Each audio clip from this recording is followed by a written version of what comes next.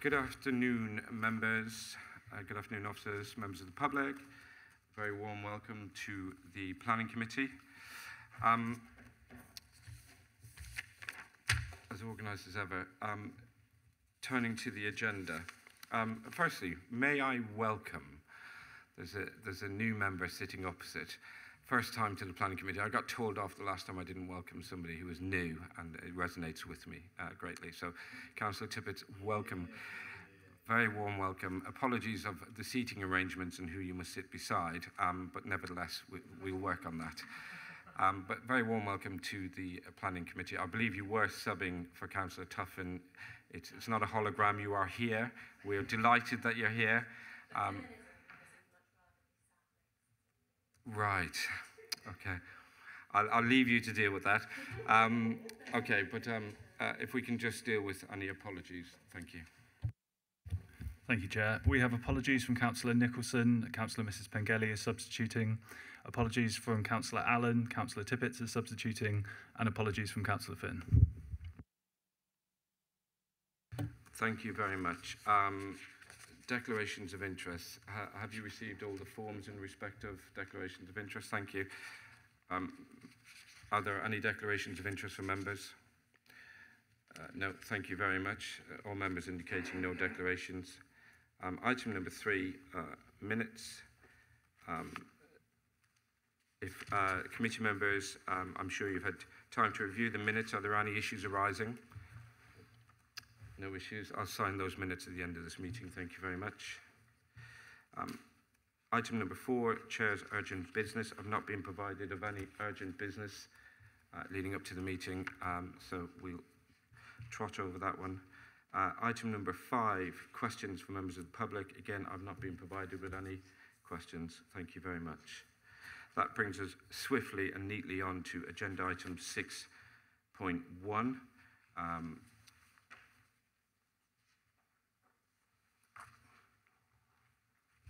Excuse me a moment.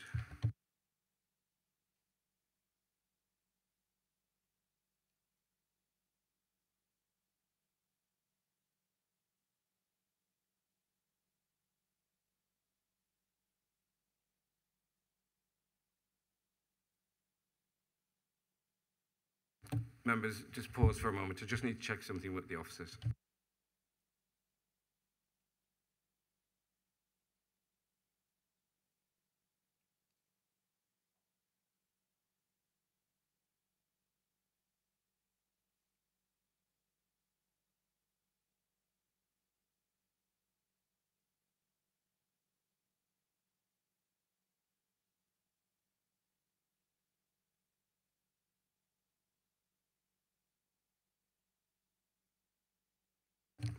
Thank you, members. Sorry about that. Um, so, uh, dealing with the one item we have today, Eero Business Retail Park on Plymouth Road in Plymouth. Um, and Jess, I think you're taking us through that application. Many thanks. Um, thank you, Chair. Um, yes, so I'm Jessica Vaughan, and I'm here to present to you uh, the application on Aero Retail Park, um, reference 21 forward slash uh, 02266 FUL. Um, this application is for Eero Retail Park and just to the south of Plymouth Road in the ward of Plympton Erle, um, as you can see on the map.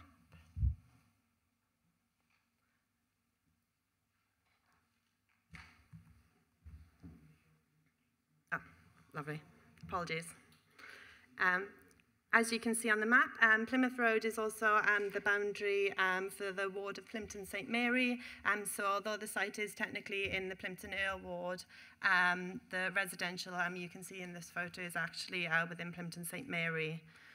The site is approximately uh, 2.4 hectares of land and rectangular in shape. It currently contains three retail units and the proposal in front of members is to demolish the middle unit. Is to demolish the middle unit, to change the use of the unit to the east um, from retail to B8 sui generis, uh, builder's merchant, and to reconfigure the western unit um, with part demolition, um, part extension, and to retain this for retail use, um, specifically uh, Class EA, um, to be occupied uh, by home bargains and also limited on what goods it can sell um, by condition. Um, the site has historically been retail and has been since the units were given permission in the 80s. Um, since then, there's been quite an extensive planning history on the site, as detailed in section 4 of the officer report. Um, this has included the installation of mezzanine floors, and in 2010, it was confirmed um, through a lawful development certificate um, that all three units can be used for open use retail. Um, in 2013, Morrison's was given permission to build on the site, um, which never materialised, and local needs for shopping are now being met elsewhere, such as on the adjacent Lidl and Aldi on Galileo Close. There is a fallback position um, where if this application is refused, the owner is able, in theory, to use the existing buildings on the site in accordance with the current permitted development rights and permitted development. Uh, not the Morrisons, as that has expired, um, but the lawful development certificate um, does state that there is no current restriction um, on the sale of goods across the three units. The reason this application is in front of members today is that the site is currently allocated for 60 houses in the local development plan, the Plymouth and Southwest Devon Joint Local Plan, which was adopted in 2019 and reference PLY 60.8, and the application in front of you is recommended for approval. Um, so I'm going to quickly go through in more detail what is proposed for the site, and then I'll sum up, sum up the reasons as to why officers are re recommending um, this application for approval. Uh, just as a bit of background, um, this application was made valid on the 1st of February 2022. Um, there was a pre-application on the site where it was flagged to the applicant that this is a deviation from the plan, but through the application process, the negotiation which has taken place and the additional information which has been provided on the site, overall, whilst it is a finely balanced decision, officers are of the view that there have been significant changes in context um, since the Joint Local Plan was adopted, most notably in relation to the climate emergency declaration and the economic context. And this does support the argument um, for an earlier development of the site um, rather than waiting for a future housing scheme. Um, so this is the site. Um, as mentioned, it just sits to the south of Plymouth Road, which is where the main entrance to the site is. Um, off to the west is the Lidl store, given permission in 2015. Just um, to the south of the site, um, uh, it, the site is bound by an existing railway line, um, beyond which is an industrial estate, which includes a number of commercial and industrial units. Um, to the east, um, just off the plan here, um, you have Underwood Recreational Ground and residential beyond. And in addition to the retail park itself, um, the application site um, comprises sections of the landscape banks um, either side of the Tory Brook to the north. Um, these are densely, densely wooded, um, which serves to filter and screen large parts of the retail park when viewed from the north. Um, and you won't be able to see this from the plan, but there is a change in levels here from Plymouth Road to the site. But hopefully some of the photos I've taken and we'll show later on in the presentation will show this. Um, this is a more uh, detailed plan of the site as existing, um, showing um, the three units as current. Um, two of the units have been vacant for a number of years and last operated as a cooperative homemaker. Unit B, that's the middle unit, and Unit C, um, the uh, unit on the east. Uh, the remaining unit, um, Unit A, so the western unit, has recently been made vacant by Biology, which was a discount retailer. Uh, the total floor space within these buildings is 6,319 square metres, and the buildings are surrounded by hard standing vehicle parking and service areas with trees dotted through the car park. Um, and as you'll see from the upcoming photos, um, all of these units are significantly damaged and present a poor um, image to local residents and those accessing the site. Uh, this is the proposed plan. It looks quite small on there, so hopefully um, you'll have seen it um, previously. Um, but so what you can see here um, is what is proposed. Um, so the demolition of the middle unit, Unit B, has disappeared.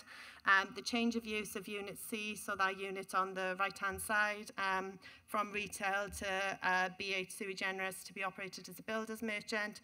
And then Unit A on the left, which is going to be remodelled. It includes um, part demolition of 1,242 square metres of floor space to the west of the unit, um, so the left-hand side, and part extension of 1,307 square metres um, to the east. Um, this results in an overall change of floor space in minus 205 square metres, so the unit in total is uh, reducing slightly.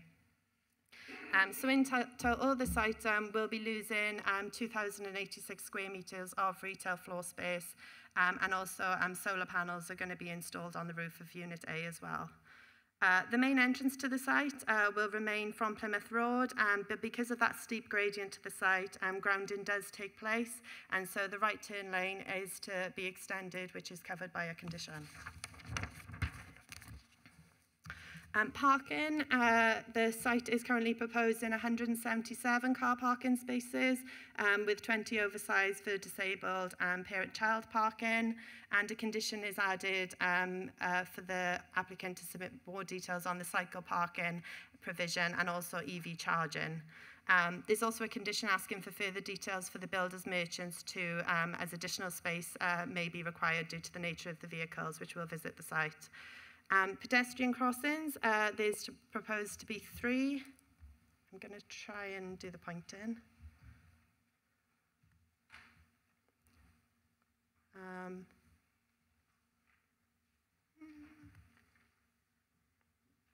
no, I don't think it's working. Um, but there is three pedestrian um, uh, uh, uh, uh, crossings proposed. Um, they kind of, as you um, enter the site, they would be on the right and across, and then there's one in, in front of the unit. Um, for landscaping, um, there's to be 185 uh, linear metres of new uh, native hedgerow planting, uh, primarily across the south of the site, and eight, 800 metres of squared wildflower uh, grass verges. Um, with regards to trees, uh, the redevelopment proposes to require the removal of 19 trees from the car parking area to facilitate the development. Um, these trees are under a TPO, and the reason they were put under a TPO um, was to provide a good visual amenity to what is otherwise a sea of tarmac. Um, through negotiation, um, the applicant has agreed to provide an additional 11 new trees in the car park um, within Silva Cell tree pits, meaning that in total 49 new trees are going to be planted, um, which is an uplift of 30 trees over and above what is already there. Um, and the trees to the north, um, which um, I'll provide more details in the landscaping plans, uh, provide the screening are all to be retained and to remain under the TPO. So this is the site as currently viewed um, from Lidl's car park looking east. So this is the old biology building.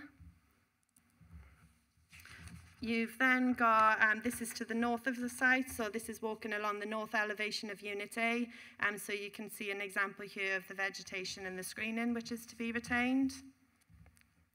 Um, this is coming from the end of that corridor um, where you can see uh, Unit B to the right, which is the middle unit to be demolished, um, and Unit C, which is to become the builder's merchant. This is at the back of um, Unit C. Um, B8 sui generis, so we've walked the length of the site um, from west to east. This is to the entrance to the site off Plymouth Road. The entrance is just to the left here, um, and this photo was taken uh, looking west. And then this is the entrance to the site, uh, looking, looking east, um, entrance to the right. And hopefully this is kind of showing um, the change in levels that I was trying to talk about earlier, which you may not be able to see um, from a proposed plan. And then this is the entrance current, uh, currently as you see it. So looking into the min, middle unit, the unit B, which is to be demolished.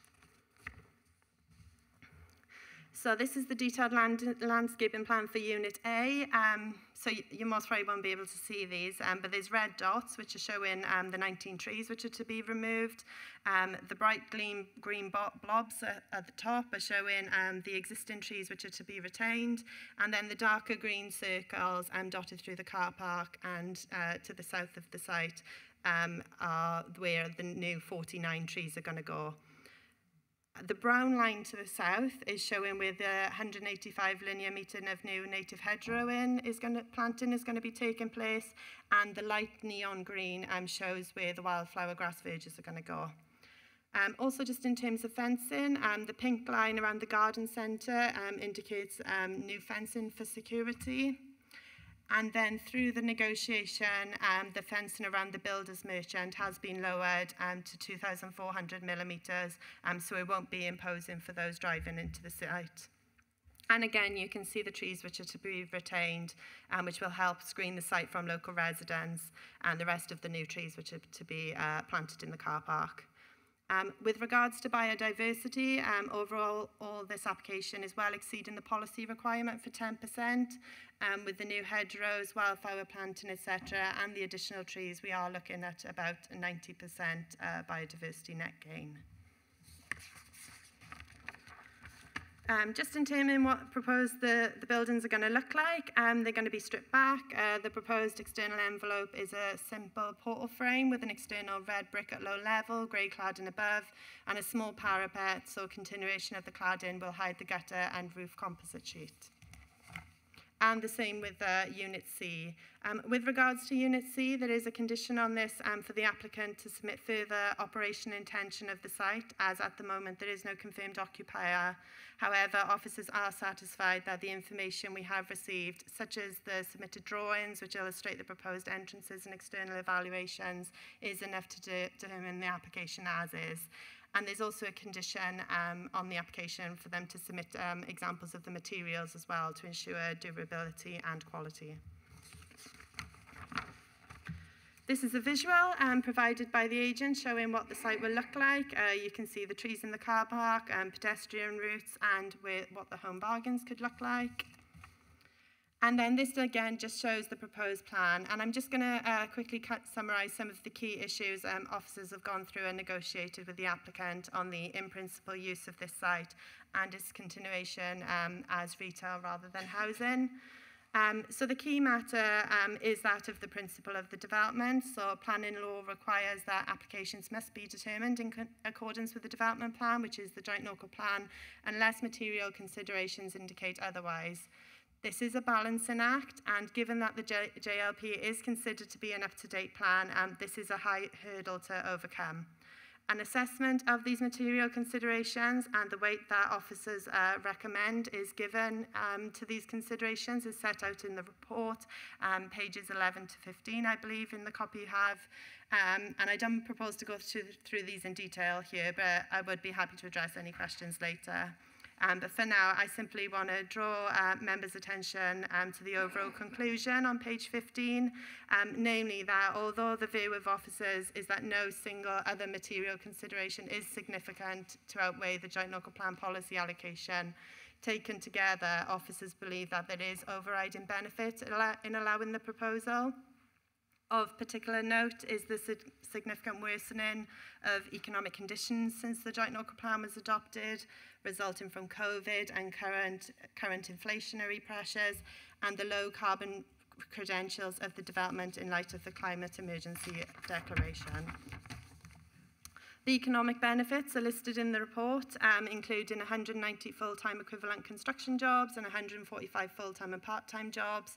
And early investment in this site would also bring regeneration benefits to a site which otherwise might continue um, to lay empty and deteriorate whilst waiting for a future housing development to come forward.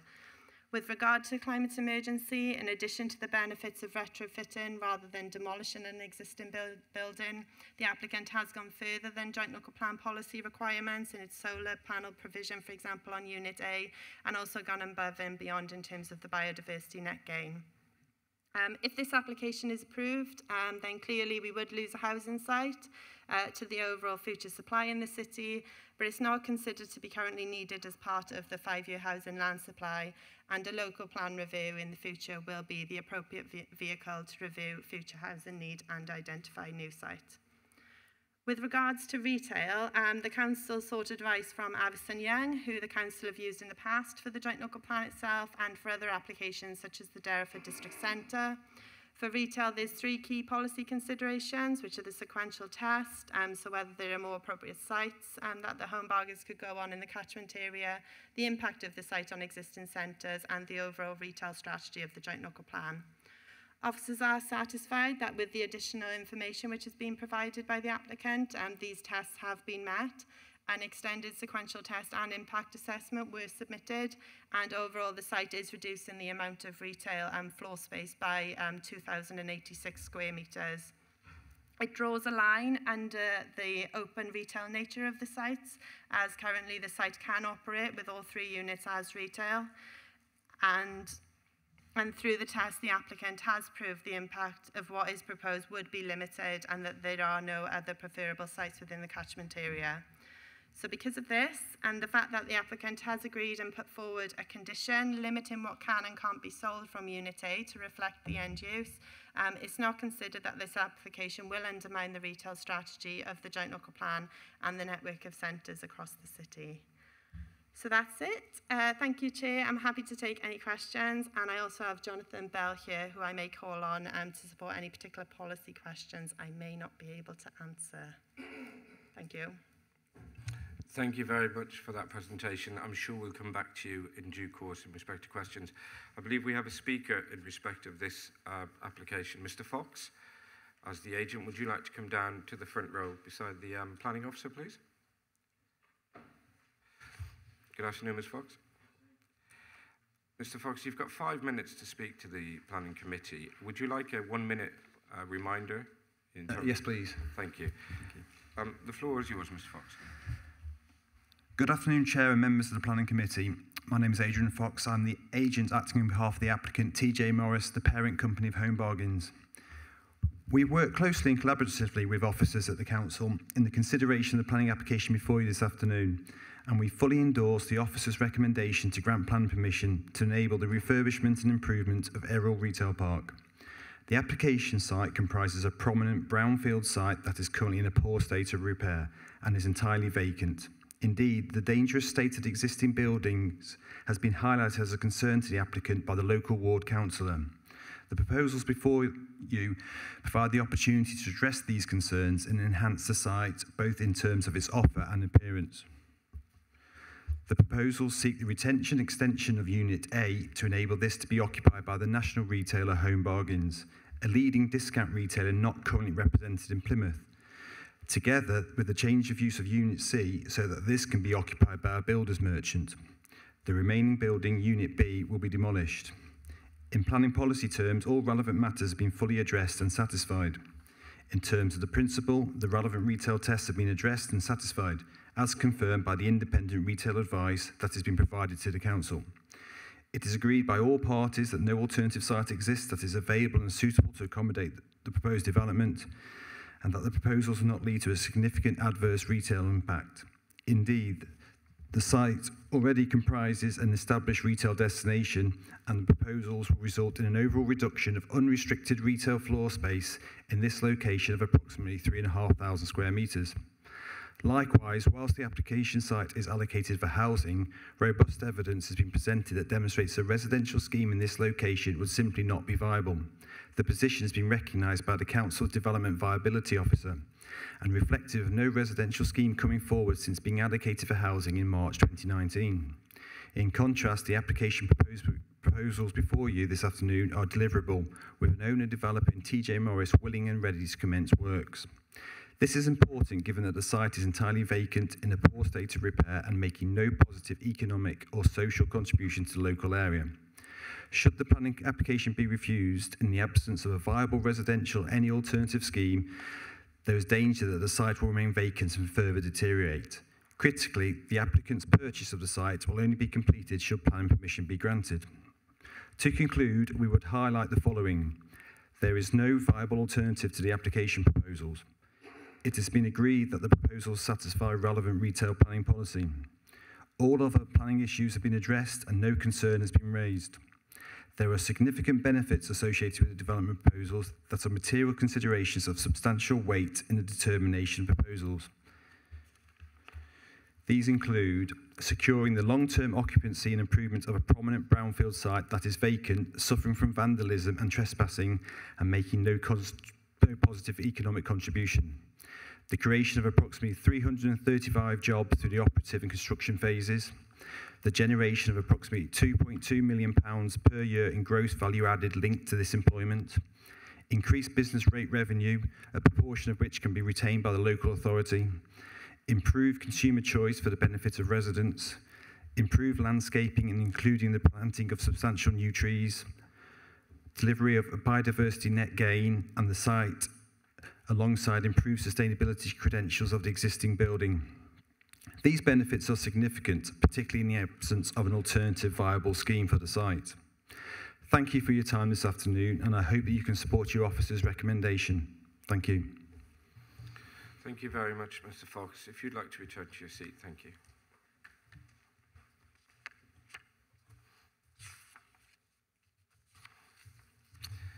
Um, just in the interest of transparency, it should be noted that a site visit was conducted, as referred to by the officer, um, in yesterday. Present was myself, Councillor Nicholson, Councillor Tippett, uh, Councillor Stoneman, uh, Ms Francis, and the officer, Ms Vaughan. Um, we all um, went through the plan at the site. Oh, and Ms Councillor Watkins, forgive me, uh, was also present. Um, so, members, over to you. Um, please show hands who'd like to raise. I have Councillor Stillman, and I'll make notes as I go around. Thank you, Councillor Stillman. Thank you, Chair. Um, this scheme is looking very is looking very good, but one concern that I do have is obviously this has been allocated in the joint local plan for housing, um, and it's quite a significant site, um, and the future housing needs of the city could change. Um, so I'm concerned about you know uh, having a regeneration of the site for retail, and then the, the possibility of this uh, site being used for housing be, be gone.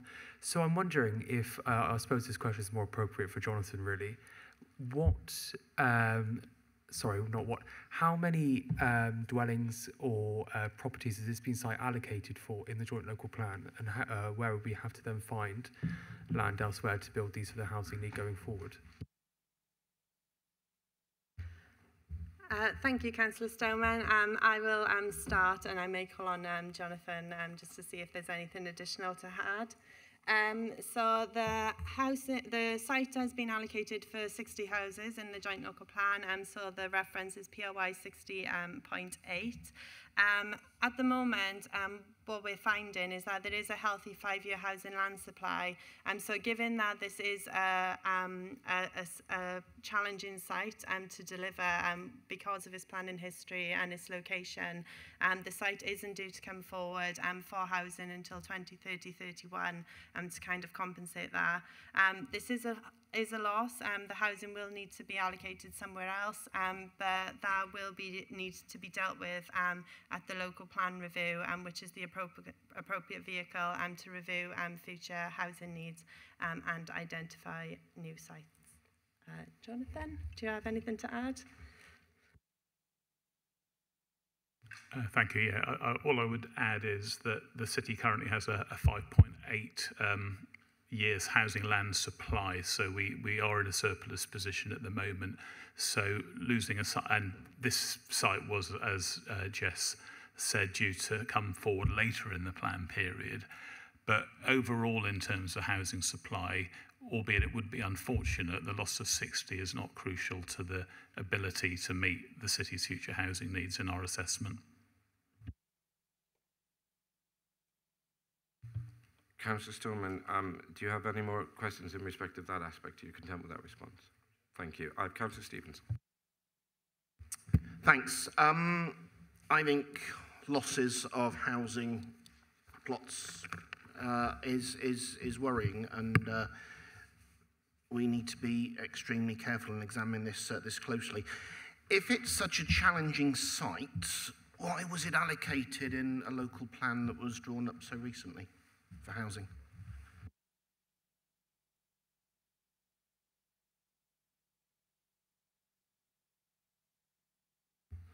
Thank you, Councillor Stevens. Um, yeah, so this was, um, so one of the reasons um, why uh, it was allocated as housing um, was was to do with the open retail use of the site and actually that actually should there be an additional, a different use on the site. And what is potentially happening is um, a retail creep across the corridor along Plymouth Road um, where retail is kind of slowly going there. And one of the reasons it was allocated was to potentially um, halt there to try and uh, create um, an attractive space um, for housing. Um, so that's one of the reasons um, why it was allocated.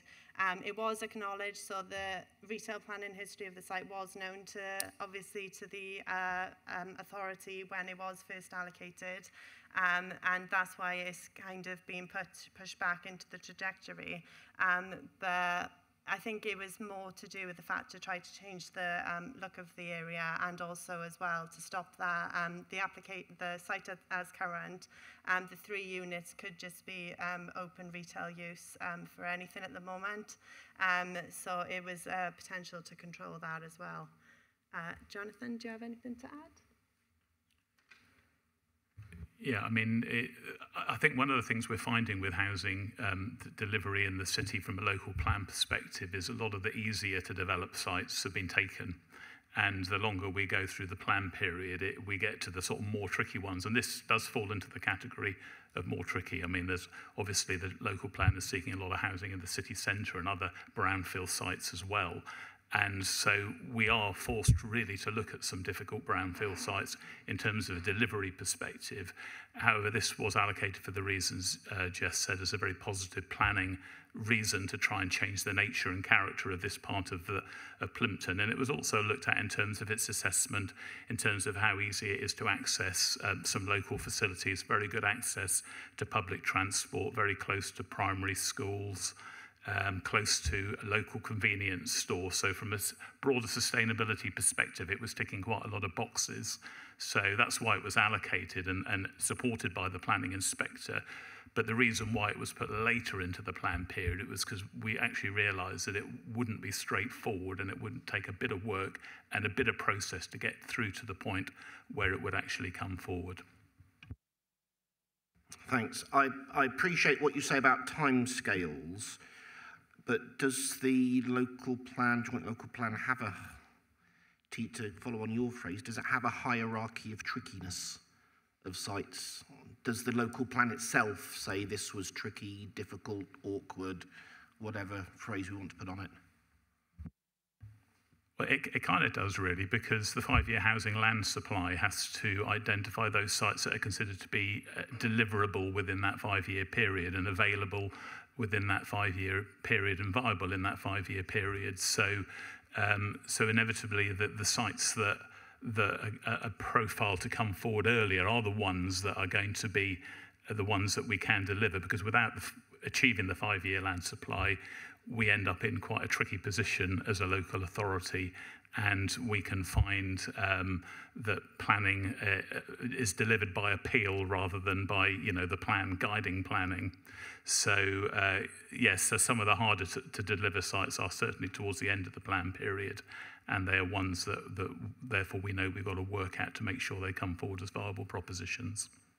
Well, it might be that this one is one we have to work at a bit, in my view, and to dismiss it this early on seems to be very, very negative and uh, not put much faith in the deliverability of the local plan, which I think cross-party we all we all signed up to. Um, in terms of the net zero approach, can can you give us a, a, a, and, and this will be my last point for now, Chair, I, I assure you. Could we have some sort of assessment of car and lorry journeys based on what's proposed versus a developed housing uh, uh, uh, site with the numbers that the local plan currently outlines? Because I would have thought that the average car journey per house, if it were developed for domestic dwellings, would be a lot less than all the shoppers and delivery lorries that would come along a very, very busy road. So I would have, I would have thought at face value, net zero would lead us, net zero considerations would lead us towards uh, domestic dwellings rather than a big uh, retail stroke industrial site uh, as described. Um, thank you, Councillor Stevens. Um, so I don't have um, the numbers of a potential housing site on on me. That would need to um, uh, be looked at. Um, but if I draw your attention to paragraph 129 of the um, report, um, it does says that because um, of the the current open retail uh, um, use for the site, um, the actual application um, would potentially um, decrease the amount of traffic that could potentially come in if it was um, kept as it is and used as retail. Um, so uh, result in um, 352, uh, 627 and 566 um, two-way ve vehicle trips in the weekday, AM, PM and Saturday, Saturday pe periods respectively. Um, but apologies, I don't have the comparison to what a housing site uh, would be. Uh, 60 homes, two cars per house. That's great for now. Thank you, Chair. Uh, thank you. Councillor Smith. Thank you, Chair. Um, I just want to make a couple of points. I suppose it's I, I completely understand where Councillor Stevens is coming from in terms of the departure from the plan and the loss of houses. I think it's worth remembering, though, that previous planning committee, we were looking at a site that was allocated that then ended up, we were, we were making, we were giving permission for, for more houses than had been allocated. So I think it's worth just putting that on record that sometimes we get asked to to look at things in both directions. I'm not making a judgment on that. I'm just reminding us that we did have to do that last year. Um, the points I want to refer to, I'm sort of taking it on a little bit and thinking, okay, if we were to accept the proposals, what's in front of us at the moment, I'm not convinced is as concrete as I'd like to see it, particularly around the sustainability aspect. So I've got um, two questions. The first one is around the um, condition 13 and provision for solar on the top of unit A. My question is why are we not conditioning solar on the top of unit B? And then my second question is about condition 8 where we look for further information about the number of electric vehicle charging points. Given the direction of travel that the department's going in and that this committee's been going in I personally would rather see a stronger condition where we're actually stipulating closer to a number of what we're expecting rather than leaving that up for negotiation outside of this committee. Um, we've looked at other sites across the city where we're being quite tight on what we're expecting them to deliver, and I think that is a bit of a departure from where we've been heading. So why not solar on Unit B, and is there scope to beef up condition 8? And I realise that might need to be something that we propose, but I'd just like to hear your comments on why it's as it is at the moment, please. Um, yeah, so uh, with regards to um, why um, solar panels haven't been um, required uh, for Unit uh, B or C. Um, so the solar panels on Unit A is um, in addition. So the applica application without the solar panels is already um, going above and beyond um, the sustainability measures as um, required um, by DEV 32.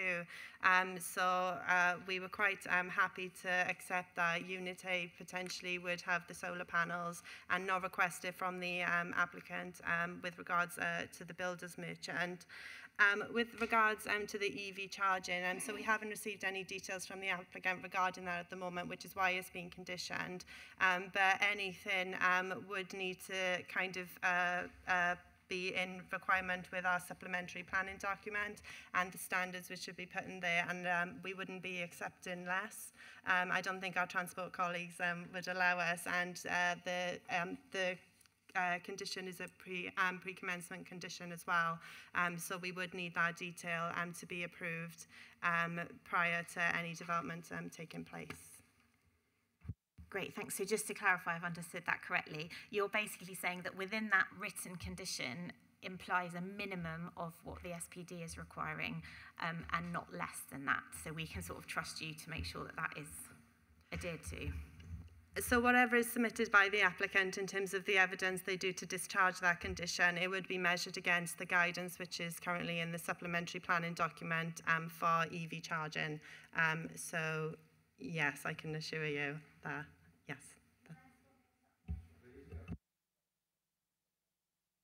Um, just, just to push that a little bit further, just to again make sure I understand, is there scope that the wider fact that this development at the moment is above the the net biodiversity requirement might see a reduction in the number of EV points?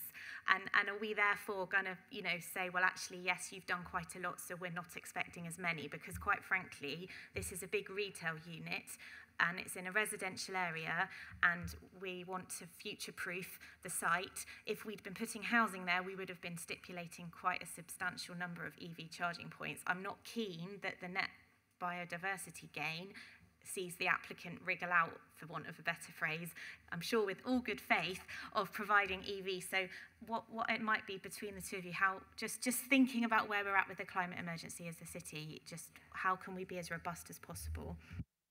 Yeah, of course. So the supplementary planning gu guidance, it is guidance, um, but that is where the starting point is, and that is what is being referred to in the in the um, consultation response from highways, and that in regards to the cycling parking. So that would be their starting point.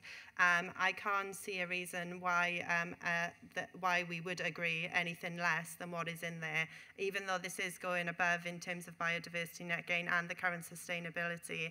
Um, we are in a climate emergency, which in the planning balance is one of the reasons why we think um, this application could potentially be approved. Um, so we wouldn't be looking to kind of compromise on that um, anywhere less. Uh, members, just to pick up on two points that have been raised, uh, as discussed previously, this is a departure from um, local policy. It's not the first time this committee has dealt with that. Actually, quite recently we dealt with another departure. Um, but that's why this is here, uh, and we're having that debate. So uh, it's important that this is discussed, hence we had the site visit. Um, Councillor Smith, you've raised valid points in terms of the scope. So whilst there's a minimum requirement, you may want to think about, well, let's not lose sight of the scope um, in that regard. I don't wish to influence your, your thoughts, but um, don't lose sight of that. This is a very important uh, development. Uh, and if there's scope, we should explore that, particularly anything that's going to affect the climate uh, adjacent to a residential area. Next on my list is Councillor Tippett. And members, please feel free to come back in if you have other questions. Thank you. Uh, thank you, Chair. Um, going back to the housing, um, it notes that this uh, site was first designated for housing in March 2019, uh, which was three and a half years ago. Um, and I completely appreciate that COVID would have scuppered uh, some opportunities to uh, put in work on housing, um, but how much work has actually gone into source a suitable developer for this land for housing, and how much work has been put in to see whether this land would be suitable as a council development for social housing? Thank you. Um, thank you, Councillor Tippett. And again, I might call on Jonathan to help support um, my answer. Um, but I know when the joint local plan um, was being adopted and being consulted on, um, we did actually approach the then landowner to potentially buy the site um, to actually try and deliver housing on this. But there was no interest and instead the landowner actually objected to the allocation in the joint local plan originally. So whilst So whilst the inspectors found that sound, they obviously would have seen the representation, seen the evidence from the joint local plan, and they didn't remove the site from housing, so it was allocated. Um, there was some work previously um, to kind of potentially buy the site and try to deliver housing on there, and there hasn't been interest. Um, and annually, uh, we contact um, the developers um, uh, in the, um, on the allocated sites in the housing trajectory. And again, um, annually we haven't received um, anything further um, from uh, the landowner um, with regards to interest and to delivering this site as housing. Um, Jonathan, do you have anything to add? No? Okay. Councillor Tippers, do you want to come back on that point or are you content with the response? Um, just to, so I understand it, uh, so um, when you say you're contacting annually, is that just the landowner or it, does the land go out to tender uh, to other housing developers and the opportunity for other people to buy the land for housing? Uh, sorry if that sounds like a stupid question, it's my first time on the committee. Yeah, of course. Um, so we're not we're not the, the landowner, and in terms of the um, how that process works, um, in terms of going out for tender, um, I'm unsure on on that side of it. Perhaps um, Jonathan may be able to help with that. But basically, as part of our um, annual um, reporting schedule, um, we do contact um, each um, uh, site is allocated to a case officer, um, and every year we contact the landowners to see whether um, there's been an update on the delivery of the site, whether there's any interest in the site coming forward, whether there's anything we can do to unlock that. So that's um, just an annual basis that case officers do. Um, and basically, since we've um, been contacting them, um, we haven't had um, any interest come forward. Um, just to assist the debate, Councillor Tippett, perhaps um, Ms Jackman, Head of Legal Services, could assist at this point. Thank you, Councillor Darcy. Um, the land isn't in the council's ownership, therefore the council has um, no control over how the land might come forward whilst it's not within its ownership. We couldn't run an exercise to see whether anybody was interested. It's solely at the discretion of the landowner. Whilst it remains in their control and their ownership, it's theirs to try and forge the way forward in terms of development, and this is the proposals that they've come forward with. Thank you so much for helping clarify that. It makes a lot more sense now. Thank you. Thank you. Um, Councillor Watkins. Thank you, Thank you, Chair. Um, there's an obvious economic benefit from this uh, derelict site, um, but the whole the the benefit will only occur when the whole of the site is developed. Um, and I'm just wondering. Uh, I understand there's no builders merchant actually arranged to go in there yet, um, and what the situation will be with the ESP if there's no uh, nobody uh, in the other building. Um, so at the moment, um, that's correct. So the Unit A, um, which is the unit to be remodelled, is uh, for home bargains. Um, unit uh, C is to be um, the builder's merchant. Um, there is an, uh, whilst I've been told by the applicant there is interest in the site, there is no end occupier at the moment. So the assumptions would have been made on the floor space, which is being put forward as a builder's merchant. But yeah, that's there's no um there's no confirmed uh, thing. So, but the majority of the jobs I would assume would come from the home bargains. Um, but yeah, whilst um, whilst there's no end occupier, um, the calculations would have been made on the floor space. Thank you. Councillor Riley.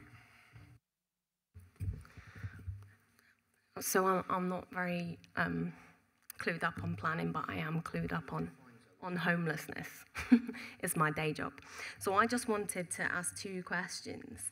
Um, what is a healthy supply of housing or housing land? And also, what is the timescale to remove a space that's allocated for housing before you say it's too tricky and we're going to allow someone else to go in there? Um, also, I'd like to say that I have also opposed housing in a very small place. So I just wanted to, you know, we do need appropriate spaces, and this looks like an appropriate space, does it not? Um, yeah, thank you, Councillor Riley.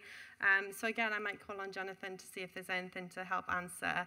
Um, but uh, what constitutes a healthy supply of housing is um, basically for the joint local plan, there's a plethora of evidence base that is needed um, and housing needs for the city are um, calculated and then the supply needs to be put forward and the council needs to put forward a five-year housing land supply um, which is five years of housing to housing sites um, to build to meet the needs of housing in the city.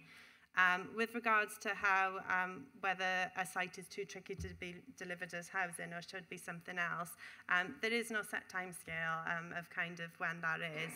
Um, this is a finely balanced decision and each um, site needs to be taken on its own merits.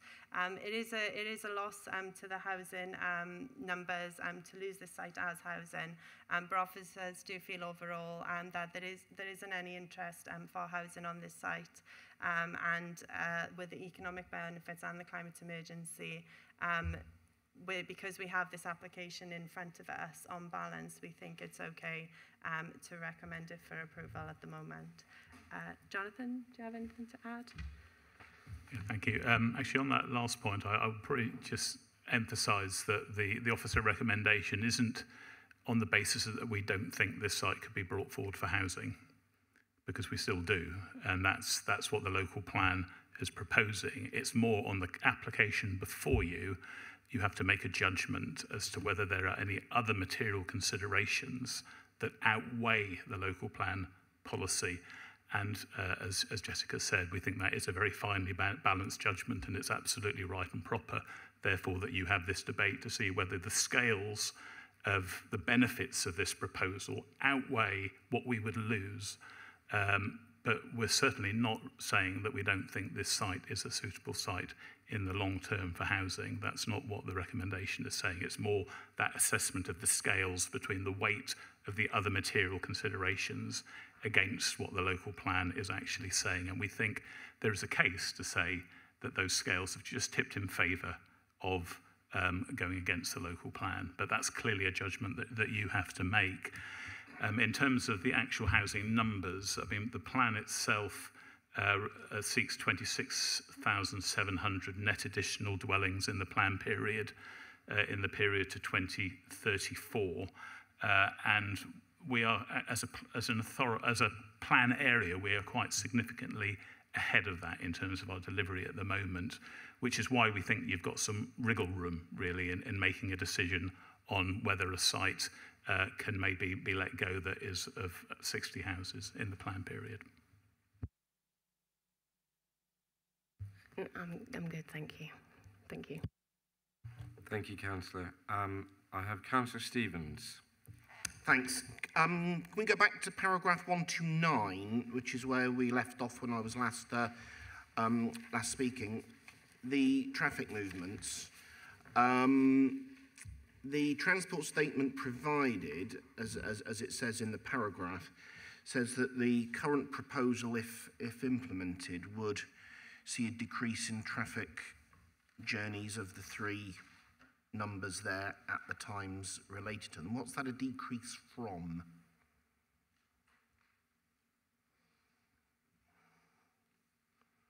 So uh, on weekday mornings, there would be 352 fewer car journeys. Fewer than what?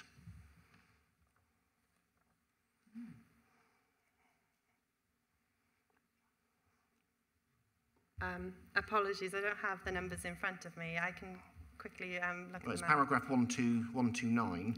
Yeah, so it says there's a decrease in the traffic attraction of approximately 352, 67 and 566 and the weekly. Yeah, so got that. What's that a What, Is it, is which it, scenario would see 352 more car journeys than this scheme? What's this in comparison to? Um, so this is in comparison to if the three units are to remain as retail. So if the three units are to remain and operate as retail, um, and without the reduction of the retail floor space, um, then we would expect um, that the three, the 352, 67, 566 um, is a decrease of if the three units were being um, used as a retail, which it currently has planning permission for.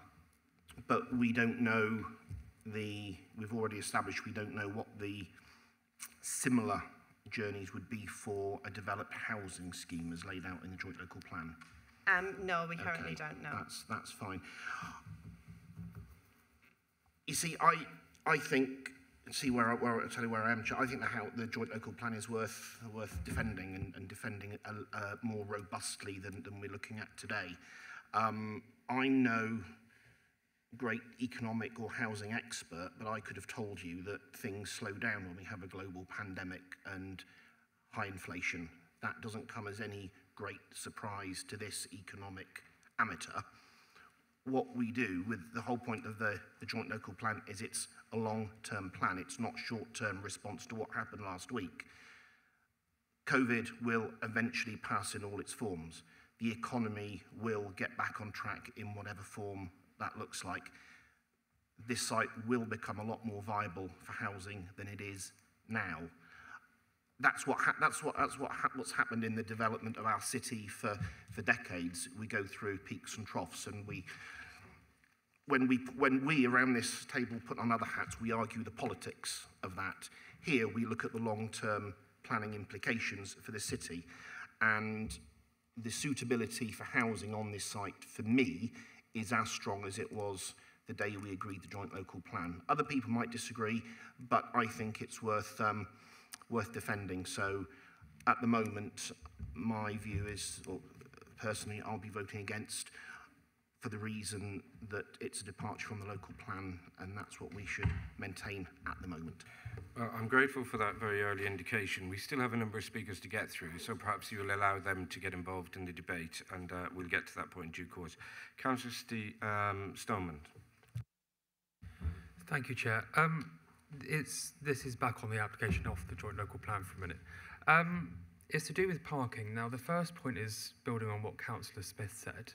I am very, very keen to see if we can put a, a, a number or a percentage in as a condition because I'm quite concerned uh, for electric charging that it could be, and you know, I, I do trust what you say, but I am concerned that that might not come to fruition and the, the amount might not be the number that's deemed acceptable.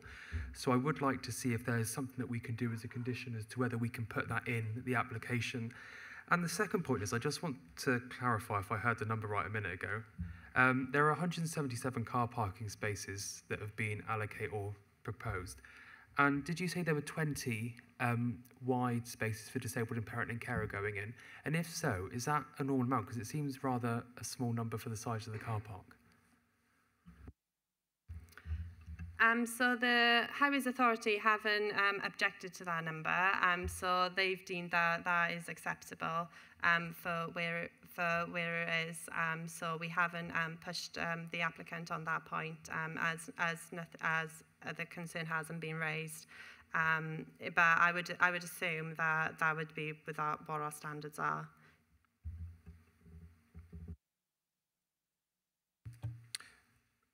Okay, um, you've indicated that you may be considering a condition. I just remind you on that point. Uh, Councillor Tippins. Thank, Thank you, Chair. Chair. Oh, oh sorry. right, now that was my fault because I, I, I mashed the two names together. I thought... What I'd like to say at this point... Oh, we, we won't invite you. We've heard enough for the moment. Um, but um, I'm going to offer that to uh, Councillor Tuffin because we haven't heard from you yet, even though you're not here. Thank you. Thank you, Chair. Thank you. Um, yeah, it's a bit of advice, really, because um, as we say, we're departing from the local plan. Um, I'm, I'm just wondering whether we're setting a precedent at some point in the future. This will come down as a point of appeal at another plan application.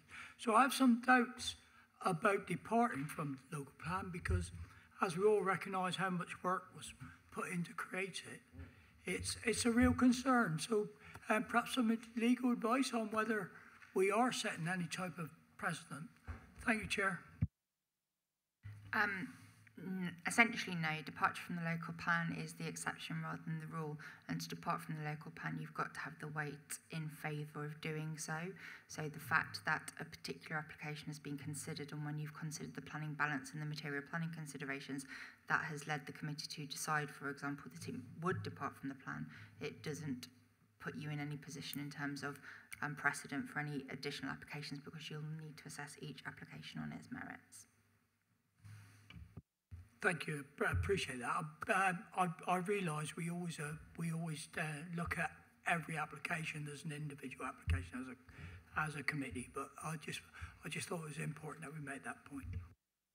Thank you, Councillor Smith. Thank you, Chair. I just um, want to go back to this point that we've mentioned a few times about what would what could be there if this isn't happening, because I think we're slightly you know, assuming that if this isn't what happens, it's going to become 60 houses. And from what I'm hearing, we have got the option that it could be three retail units that would also technically be a departure from the local plan because we don't have it allocated for general retail, we've allocated it for specific retail if we go with today's point. So I'm just interested to just understand that because, again, a lot of, I absolutely hear what everyone's saying, but we're sort of, I think, in danger of hypothesizing about what might happen. And I just want to double check that there is that scope that if we don't go with this and housing doesn't come forward, that we might still be back here as a committee discussing another departure from the local plan on the same site, but for a different aspect. Does that make sense? It, does to me.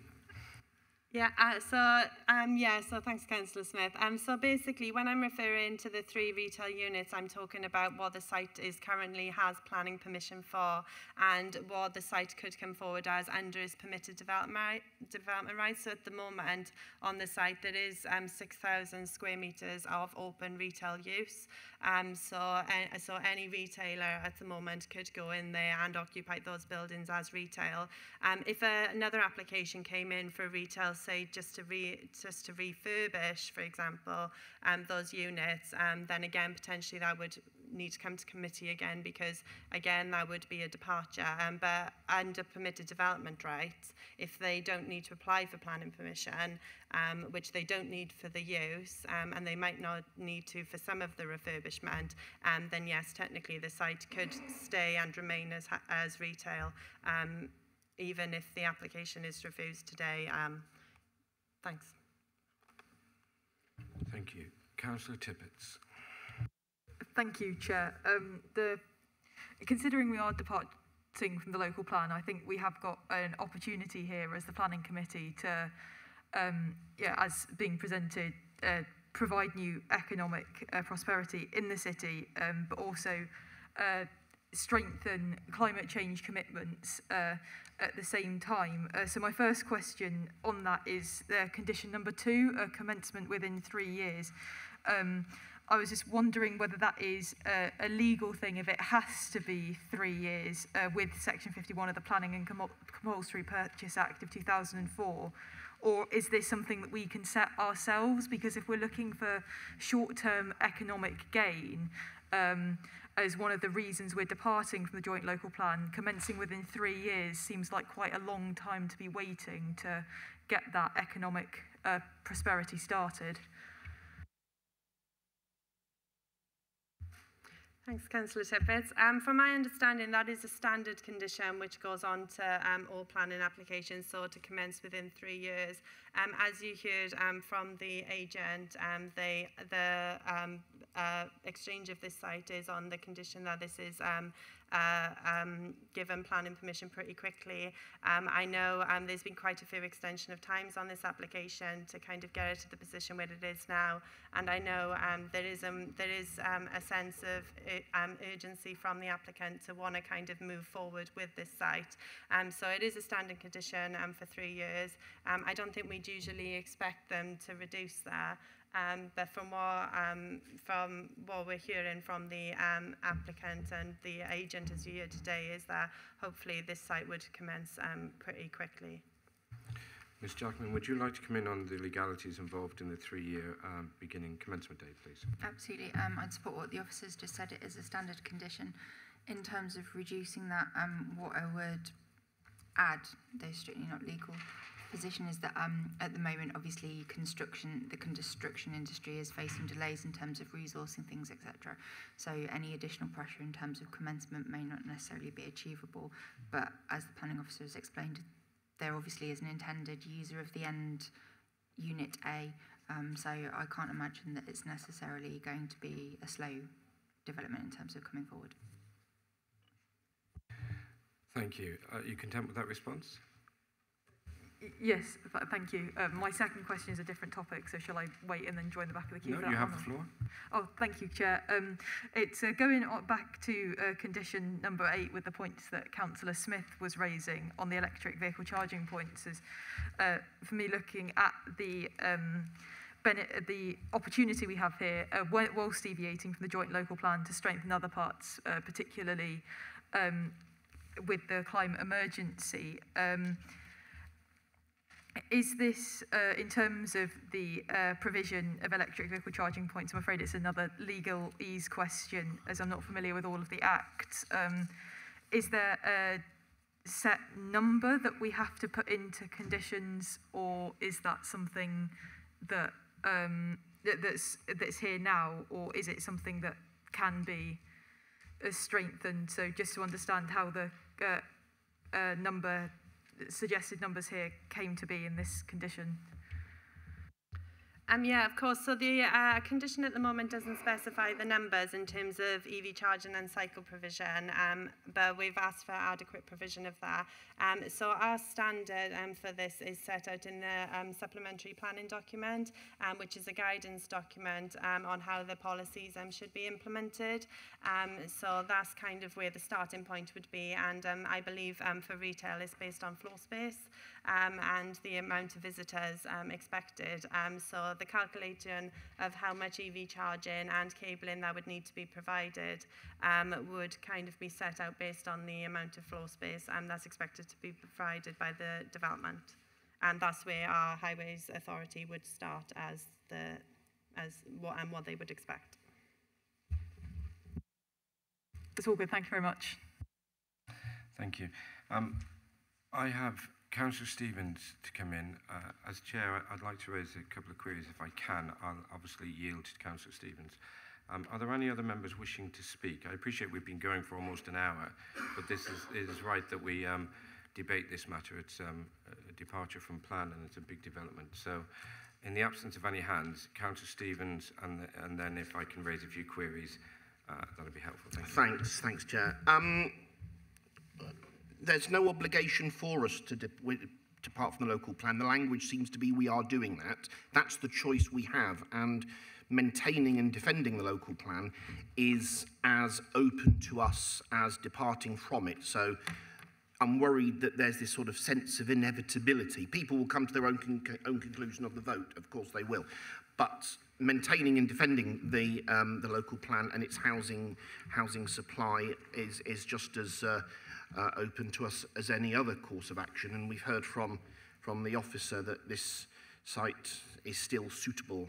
I don't want to put words in the officer's mouth, but I think you said su still suitable for housing. Um, I'm just a bit worried about Rebecca's comment about hypothesizing. Although we've only got one, we don't have a choice between a retail and a housing scheme today. That's not how it works. We've only got one scheme to judge the merits of. We do hypothesize all the time. That's what planning, that's what planning, policy-led planning is.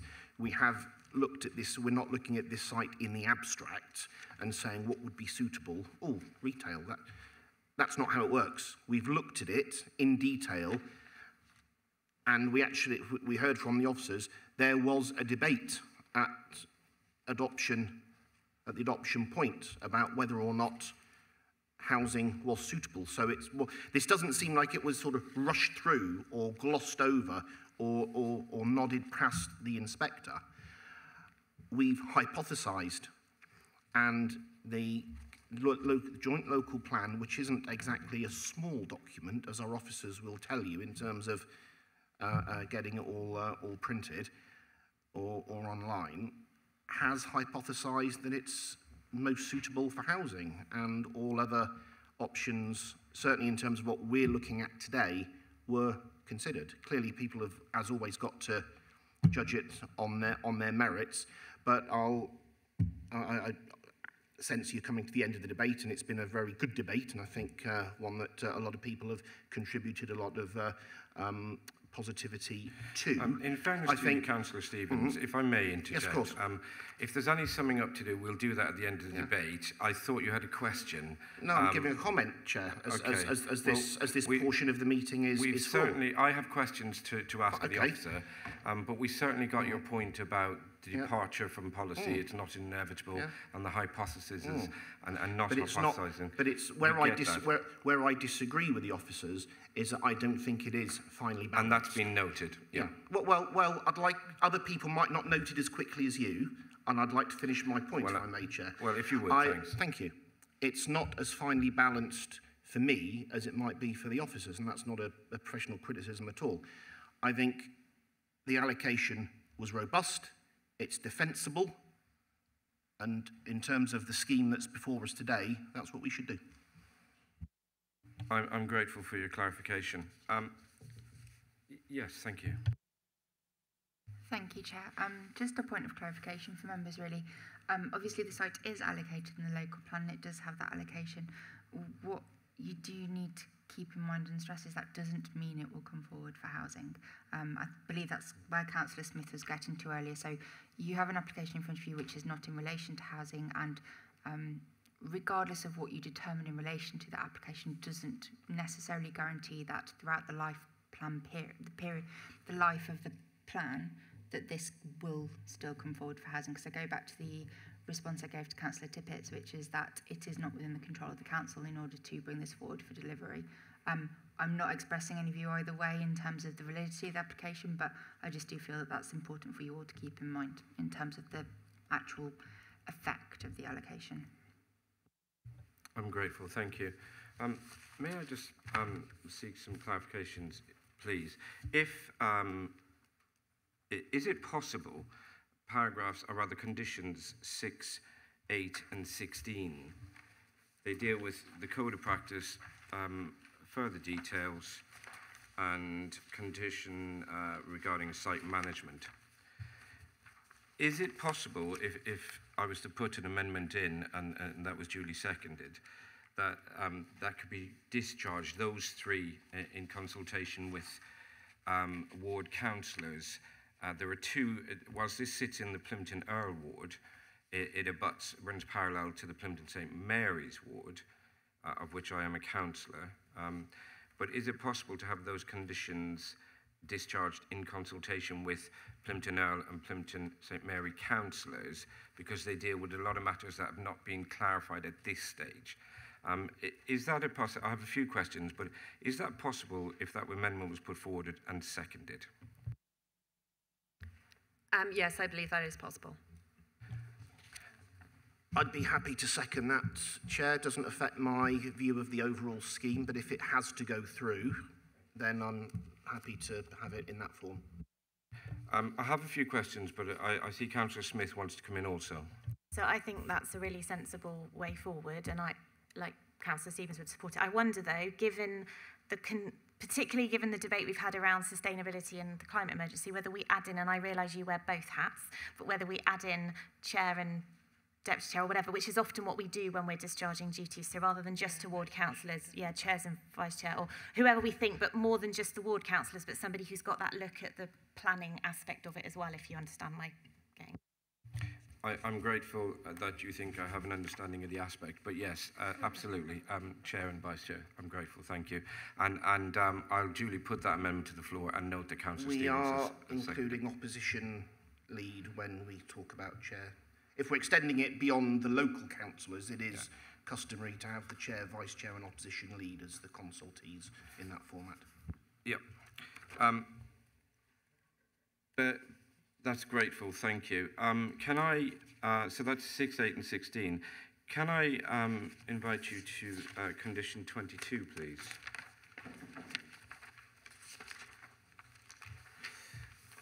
Um, delivery hours, and we'll come to 23 um, shortly. Um, the Monday to Saturday, 7 till 2200 hours. It's, um, in my view, a little late uh, considering um, the residential properties immediately opposite. At some parts of the site, particularly the most eastern part of the site, they're quite close, probably 100 yards. Um, if if um, uh, that can be, um, uh, proposal can be put forward and am- amended to an earlier time if there's a seconder, um, and, and I'm mooting at this stage probably uh, uh, delivery time of 7 a.m. to 8 p.m. Uh, and I see you nodding to say that if an amendment is put, that can be uh, considered and conditioned. Um, yes, I believe so. Um, but uh, just so you're aware, um, we did check um, the adjacent Lidl's, and the Lidl's delivery time is 6 a.m. to 10 p.m. Um, so uh, yes, I, I can imagine we can amend the condition, but the Lidl's next door um, does actually allow earlier delivery and a longer period of time.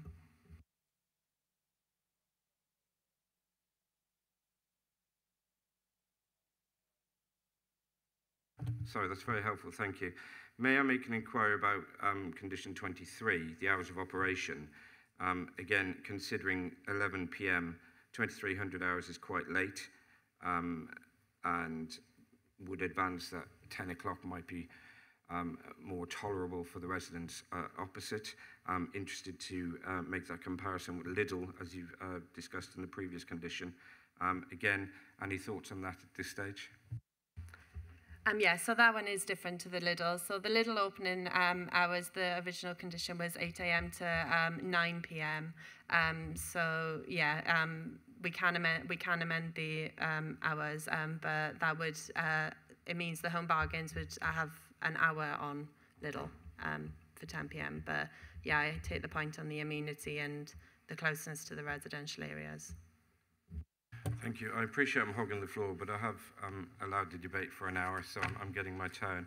Um, um, could I um, uh, ask you to put up slide 13, please? I think that's the one that illustrated it best. Uh, trigger happy. There we are. So as I see it, um, uh, in the bottom right-hand corner, you'll see a gap. It's the most easterly part of the site, I think, in terms of the tree lines, the trees that are protected. Um, you'll see there's a gap of about 20 metres. I don't think it's, it's somewhere between 10 and 20 metres. Um, I, I don't have a pointy thing. Um, but on the right-hand side of the screen, could you wiggle your cursor over that? So I do have the cursor on there, but if for some reason it's not showing. Um, But I believe it's um, Yeah. uh, is the um, place you're referring to um, the um, to the right hand side of the green blob. Yeah, so um, Unit which C, ends. Unit C car park, Yeah. where the trees the end. north, Um, yeah. That's um, so opposite is uh, Plymouth Road residence. Uh, it, it's actually a 10 to 20 meter gap, and if vehicles are coming in and out there, particularly delivery vehicles, could it be conditioned that there is tree planting to go into that 20 meter gap um, to help prevent any headlight or light uh, nuisance or disturbance for those residents across the road? Uh, and equally, so on that point alone, Um, yes, we would be able to add a condition asking um, the uh, developer to provide further details on landscaping in that area. Great. And just staying with that slide, it, it's slightly out of view. So the, uh, the far right single blob, just below it, um, there's a gate, as we saw on the site yesterday, which I believe the behind that gate is, is still part of the um, uh, landowner's um, site. And again, um, I would be seeking a condition that there was some planting that goes in there to help screen also. Again, it's only probably five meters, six meters in width. Um, yeah, I don't think that would be a problem. I'll just pop up the proposed um, site. So it's the triangle of land um, that you're referring to to the right-hand side. Um, yeah. Um, I'm hoping you're catching all these um, uh, amendments as we go along. Um, so, I'm hoping Carly is. So to um, confirm, I, I proposed an amendment, Councillor Stevens second uh, on that uh, consultation, with, our discharge consultation with um, uh, ward councillors, chair, uh, vice chair and, and, and um, uh, opposition chair and vice chair in respect of that. Um, that needs to put to be put. Um, forgive me, I've, I've lost my train of thought. We need to we need to vote on that. Yes, we need to vote.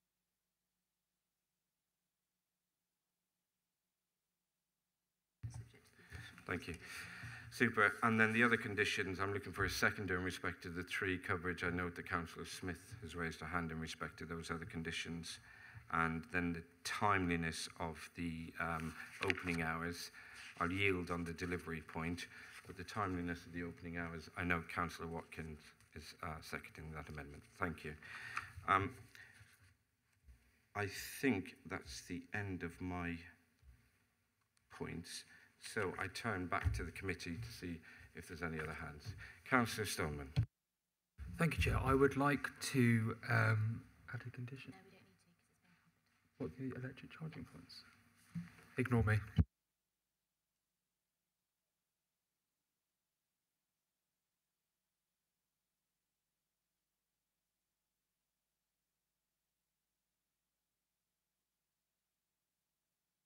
All right, thank you, members. I see no more hands up for questions. Um, I'm very grateful. This is, a, you know, when you look at the agenda, you see one item, and there were hedging bets. Some members had the temerity to say, well, this will be rather brief. Um, it's important that it's not brief. This is a departure from policy, as been raised many times.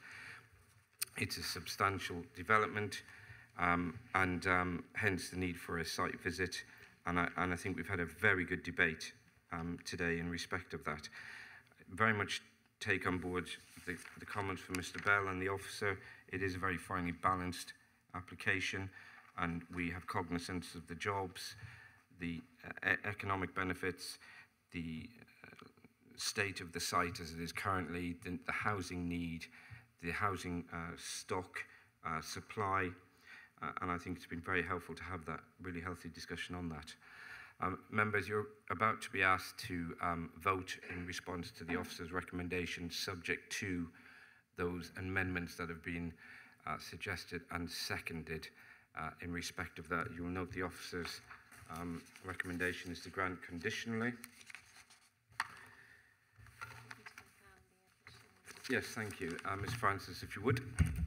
Okay, yes, so just to confirm, uh, the uh, additions suggested will be additional conditions to agree tree planting details in the gap on the boundary by the end unit and in the triangular area of land at the end of the site. And for um, condition 23, the hours of operation, the unit A hours to be amended to 7 o'clock to 10 o'clock. That's correct, yeah? An hour reduced, yeah and then amendments to conditions 6, 8 and 16 so that they're in consultation with ward members from Plympton St Mary, Plympton St Erle, Chair, Vice Chair and Opposition Lead. I think that was everything. That's all I have. Yeah. Thank you very much, members. If you would vote in due course when it pops up on your um, device.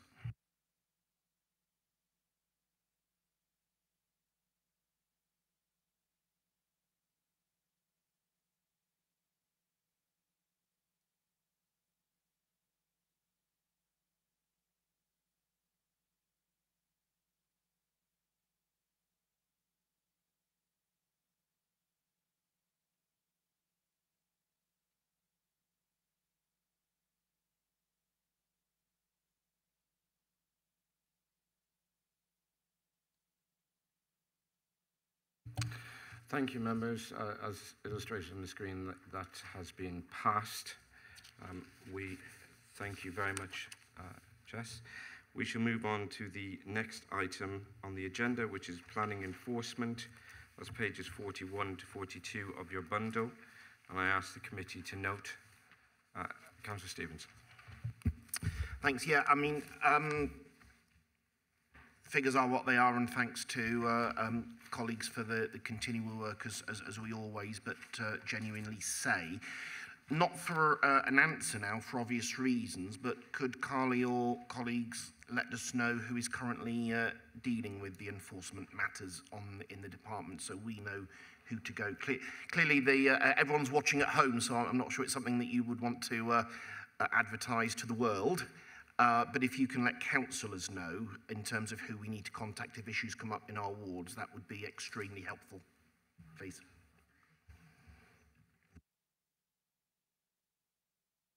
Thank you, Councillor Stevens. Um, okay, uh, noted. Um, agenda item 8, planning applications issued. Um, pages 43 to 70. Um, I invite you to note those. Any queries arising? No? Thank you. Uh, and uh, item number, five, uh, number nine, the appeal decisions 71 to 74. Uh, members, you will note there were three, I think, counted. One, two, three, four. Is it? One, two, three, four. Um, very successful outcomes in respect of those. Any comments, Carly, in respect of those appeals? No, no comments. Thanks, Chair. Any questions from members in respect to those appeals? Noted, thank you. Um, members, thank you very much. That takes us to the end of the agenda. Thank you very much to the debate and particularly um, from new members. Um, you, you, held the floor for some time. Well done. Um, you kept Councillor Stevens quiet for part of the meeting, which is always welcome. Just, um, just, thank ju you very much. Just for your memory, summing up from this position is called doing a Nicholson. Well, I shan't comment. Which, thank you. Have a very good evening.